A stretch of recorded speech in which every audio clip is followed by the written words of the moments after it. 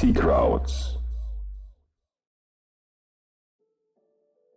Moin Moin und willkommen zurück. Es ist wieder Zeit für die nächste Flaschenpost hier rund um A World of Warships und wir haben drei Themen für euch, die sind aber ganz prall gefüllt. Also zwei sind ganz prall gefüllt, der dritte ist eher eine Frage und ein liebgemeinter Hinweis sozusagen.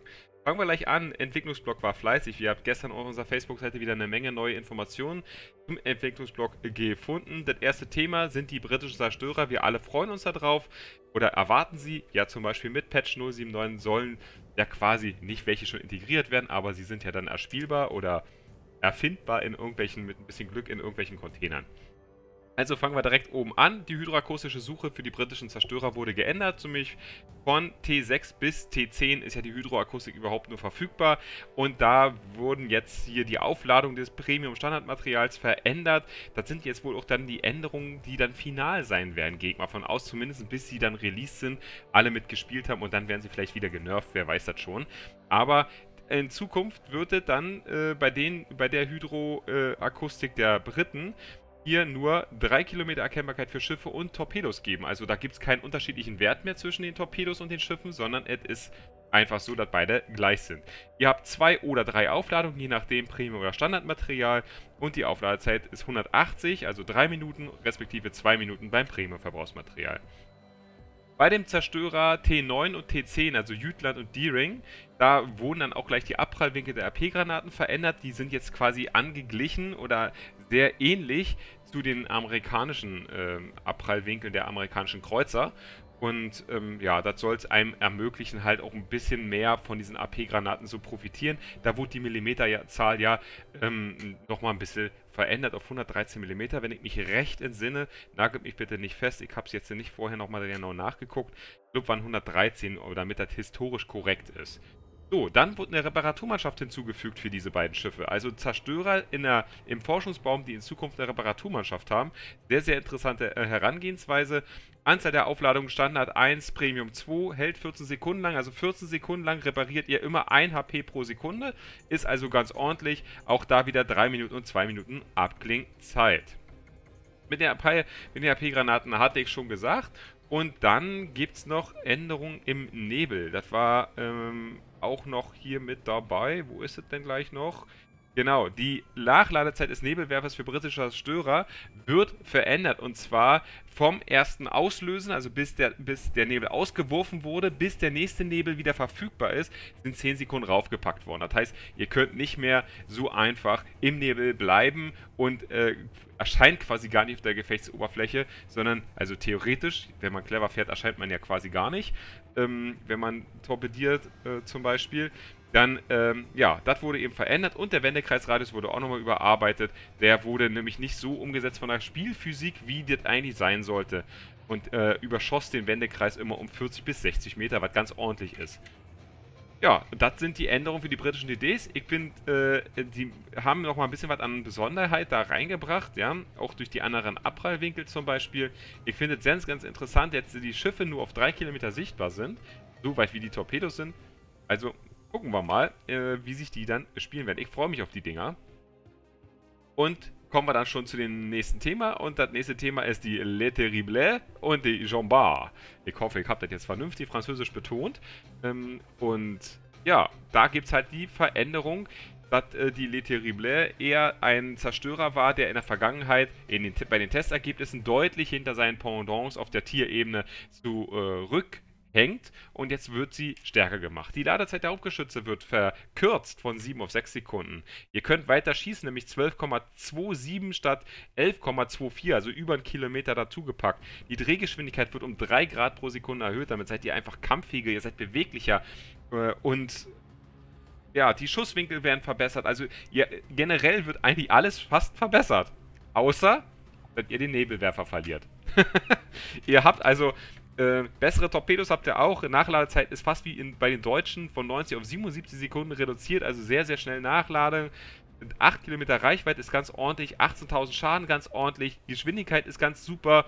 Ähm, aber ihr verliert die Nebelwerfer. Das heißt, ihr seid dann eher eine Ballerbude, ja, oder äh, müsst halt wirklich auf Safe spielen. Wenn ihr torpen wollt ähm, und das verdeckt tun wollt, dann müsst ihr wirklich ähm, drauf sein, sage ich jetzt mal. Ähm, damit äh, das eben klappt. Sonst ist es eher so ein, ich sag mal, russische Spielweise, würde ich fast sagen. Auf größere Kampfentfernung fahren und von da aus die gegnerischen Schiffe anzünden. Ich weiß jetzt nicht, wie die, äh, wie die Brandwahrscheinlichkeit ist, wird hier nicht erwähnt, ob da was verändert wurde. Aber das werden wir ja dann sehen, wenn das Schiff ins Spiel kommt. Ich weiß nicht, mir fehlt der Nebelwerfer so ein bisschen. Ich weiß nicht genau, ob der Zerstörer was für mich ist. Aber gut, äh, man muss seine Spielweise auch immer ein bisschen adaptieren. Kommen wir zum nächsten Thema. Jean Bar, da ist immer noch ein bisschen ähm, was zu viel an Power in dem Schiff. Ihr hattet ja schon mal mitbekommen, es wurde ja schon vor kurzer Zeit einmal genervt, also ähm, verschlechtert sozusagen.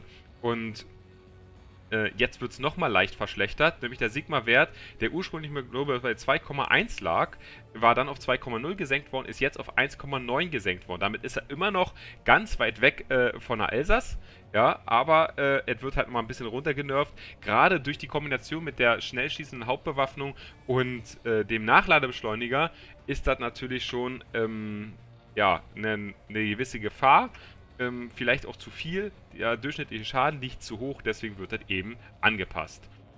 Und dann kommen wir zum dritten Entwicklungspost. Der geht um die Alaska. Die Alaska äh, fährt auch eine überwiegend ein Buff. Nämlich die Ruderstellzeit wird verkürzt um 7 Zehntel. Die Erkennung wird reduziert, also von 16,2, also 500 Meter reduziert, äh, 700 Meter, Entschuldigung, auf 15,5 Kilometer reduziert. Die Erkennung beim Feuern im Nebel, auch ganz interessant, wird auch weiter reduziert. Die Rotationsgeschwindigkeit der Geschütze wird erhöht, also ihr legt mehr Grad pro Sekunde zurück, nämlich ganze 6. Und die Feuerwinkel, das heißt, äh, wie weit ihr den Turm drehen könnt und immer noch schießen könnt, nach links, rechts, ähm, wird auch vergrößert. Der Nerf kommt aber gleich dazu. Und zwar nicht nur bei der Alaska, sondern bei der Stalingrad und bei der Kronstadt. Nämlich auch, da wird die Branddauer von 30 Sekunden auf 45 Sekunden erhöht. Heißt nichts anderes. Kreuzer brennen generell 30 Sekunden, Schlachtschiffe eigentlich 60 Sekunden als Basiswert.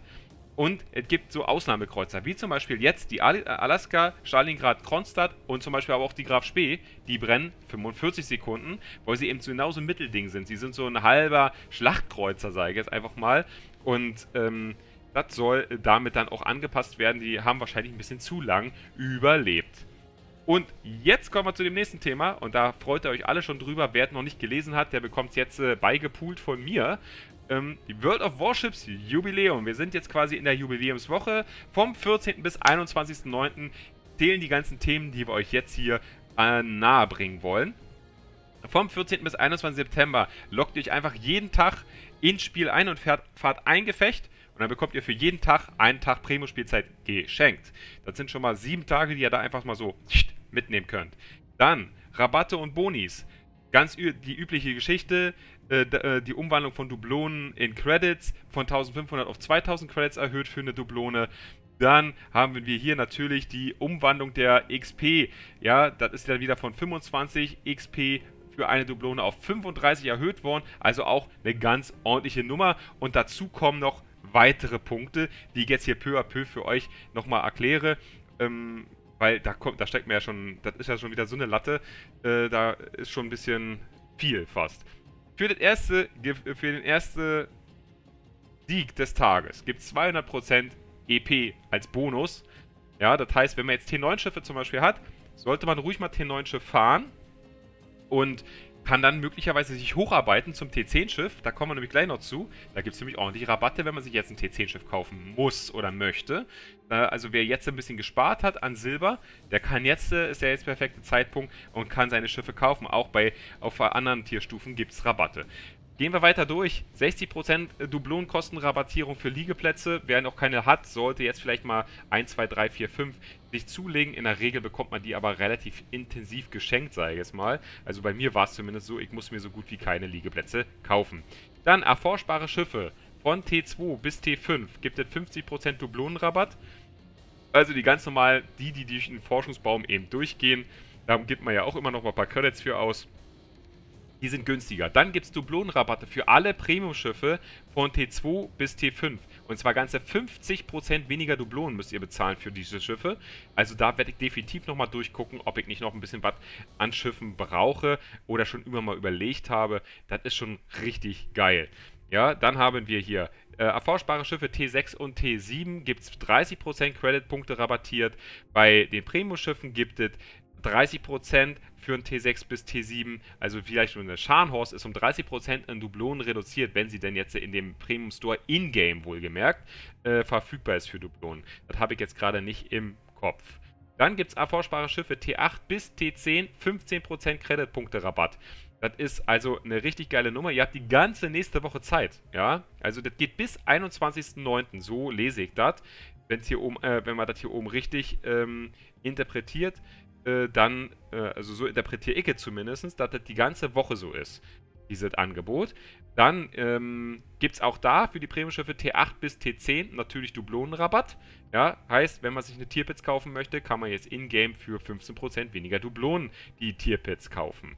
Dann gibt es ähm, minus 60% Kosten auf Premium-Verbrauchsmaterial in Credits oder in Dublonen. Also das bedeutet Schadensbegrenzungsteam 2, Reparaturmannschaft 2, ähm, was auch immer, defensives Flakfeuer 2, also ein ganzer Kram kostet 60% weniger. Ja, egal ob ihr Dublonen oder eben Credits dafür benutzt. Und dazu kommen dann nochmal, dann könnt ihr Tarnung kaufen. Ihr könnt euch Tarnung auf Vorrat kaufen, glaube ich.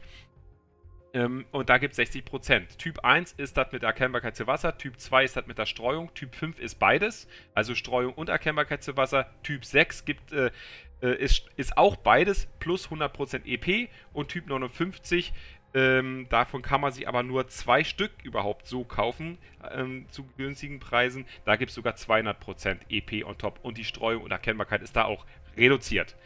So, und dann geht es weiter. Kampfaufträge. Lasst uns feiern. Ähm, ja, ein Tag Premium-Spielzeit, äh, gewinnt ein Gefecht, gibt es eben das on top, das stand ja oben schon, ja. 25%, äh, 25 Tarnmuster World of Warships Jubiläum gibt es dann auch nochmal, wenn ihr ein Gefecht gewinnt. Ähm, dann äh, Schiffseinschränkungen äh, T5 bis T10 in allen möglichen Gefechtsformen. Unternehmen, Zufall, gewertete Clan-Gefechte und Koop-Gefechte. Übrigens, habe ich eben gerade falsch gesagt, die ein, äh, ein Tag Premium-Spielzeit gibt es on top zu eurem Gefecht da oben. Weil das Gefecht da oben müsstet ihr gar nicht gewinnen. Ja, da seid ihr, ihr müsst nur an einem Gefecht teilnehmen und bekommt äh, Premium-Spielzeit. Äh, hier geht es darum, ein Gefecht zu gewinnen und dann bekommt ihr nochmal einen äh, Tag Premium-Spielzeit. Und diese ganzen Bonis mit 25 Tarnmuster World of Warships Jubiläum. Ihr könnt diesen Ampfauftrag nur einmal abschließen. Das heißt, ihr macht den jetzt am Samstag, also morgen oder am Sonntag oder eben im Laufe der nächsten Woche und äh, kriegt dann diese Sache einmal gut geschrieben. Also ihr könnt jetzt nicht immer wieder 25 Tarnmuster freispielen. Und dann geht es weiter mit Kampfauftrag 333. Ein gegnerisches Schiff versenken im Gefecht. Gibt 333 Creditpunkte. T5, T10 ist die Stufe. Und auch wieder alle möglichen Gefechte unternehmen Zufall gewertet, Clan-Gefechte und Koop-Gefechte. Das ist dreimal möglich. Also zuschlagen heißt das. Ja, ordentlich äh, einbuttern hier. Dann könnt ihr nämlich eine Million Credit knapp, also 999.999 Credits mitnehmen. So, und wenn ihr stolzer Besitzer von T10-Schiffen seid, dann habt ihr die Möglichkeit, äh, mit jedem Schiff einfach mal in See stechen, eine Runde fahren, gewinnen oder verlieren, scheißegal. Und ihr habt einen Supercontainer nach dem Gefecht bei euch im Hafen stehen. Habt ihr also ein äh, T10-Schiff, gibt es einen Container, fahrt ihr mit beiden T10-Schiffen nacheinander, kriegt ihr zwei und so weiter und so weiter. Ja, auch in da sind Koop-Gefechte, Clan-Gefechte, alles möglich. Also da kann man sich dann frei aussuchen, wie man es eben möchte. So, hier ist das nochmal alles zusammen erklärt. Ähm, denn es gibt noch einen Bonus. Habt ihr 1000 Gefechte gespielt in den letzten Monaten oder Wochen, manche brauchen dafür auch nur ein paar Tage, ähm, habe ich mir sagen lassen, äh, so erhaltet ihr zusätzliche 10 Jubiläumstarnungen für je 1000 Gefechte. Ne? Habt ihr dann weitere 1000 Gefechte, also 2000 Gefechte äh, in Summe, gibt dann nochmal so besondere Signalflaggen jedes Typs, also Drache, Ouroboros, äh, Wavan, Roter Drache und Hydra. Ähm, in meinem Fall, ich habe 4.500 Gefechte, bedeutet das, dass ich äh, 3 mal 5 diese Signalflaggen bekomme, also 15 mal Hydra, 15 mal Drache und so weiter. Und eben ganz am Anfang die ersten 1000 eben die Jubiläumslackierungen. Des Weiteren sind natürlich hier auch die ganzen Geschenkcontainer-Geschichten, Wochenend wahnsinnig glücklichen 3, darüber hatten wir berichtet in der vergangenen Flaschenpost, ähm, weiterhin aktiv. Und dann gibt es Jubiläumsaufnäher, die jeder von euch da draußen bekommen kann. Seid ihr ein Jahr dabei, gibt es diesen hier oben, also ein Rohr oder ein Leuchtturm. Ähm, Für verdienstvolle Leistungen gibt es eben, ich bin zwei Jahre dabei, seit August äh, 2016 werde ich wahrscheinlich diesen Aufnäher bekommen und für drei Jahre eben den großen Geschützturm. Da oben Leuchtturm, da ist es, pff, weiß ich nicht, äh, äh, pff, Doppelleuchtturm und äh, da ist es eben ein Drei Drillingsgeschütz. Also auch ganz cool. Die Aufnäher werden dann mit der Veröffentlichung des Updates 079 gut geschrieben. Gut. Und das sind die wichtigen Punkte. Ich hoffe, ich habe alles für euch einigermaßen ähm, offensichtlich und vernünftig erklärt, sodass ihr da jetzt genau wisst, was ihr da draußen am Wochenende und den nächsten Tagen in World of Warships machen könnt, machen solltet.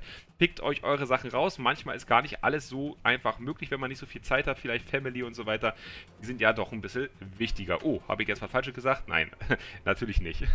Wichtiger ist die Familie auf alle Fälle. Real Life geht immer vor. Das ist auch bei uns hier im Clan so. So führen wir unseren Zumindest. So, und dann gibt es noch einen netten Hinweis. Am nächste Woche Donnerstag gibt es den Patch. Am 20.09. Äh, kommt Update 079. Und ich würde gern von euch da draußen wissen, auf was freut ihr euch am meisten? Es gibt ja die britischen DDs, die man da gewinnen kann. Es gibt das Royal Navy Event, den umgebauten Londoner Hafen. Aber ähm, es gibt zum Beispiel auch die Clanbase, die wahrscheinlich in den, äh, in den Client kommt. Worauf freut ihr euch? Würde mich einfach interessieren. Ich persönlich freue mich unheimlich auf die Clanbase. Die britischen DDs kommen gleich dahinter. Und ja, danach ist eigentlich so alles andere auf Platz 3, sage ich jetzt einfach mal. Das ist meine, äh, das ist das, worauf ich mich freue. Wie gesagt, ich würde euch gerne bitten, schreibt mir einfach zwei, drei Zeilen unter dieses YouTube-Video, würde mich sehr, sehr freuen. Ähm, und dann ja, lasst uns ein bisschen fachsimpeln. Wenn ihr vielleicht auch Fragen habt noch, dann äh, beantworten wir die gerne bei YouTube. Wir beantworten die gerne auch bei Facebook. Ihr könnt uns über Twitter erreichen. Ihr könnt uns auch im Discord erreichen. Die, äh, die Discord-Adresse steht alles unten in der Beschreibung drin.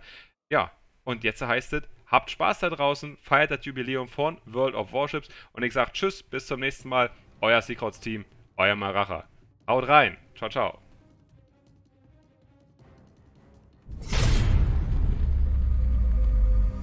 See crowds.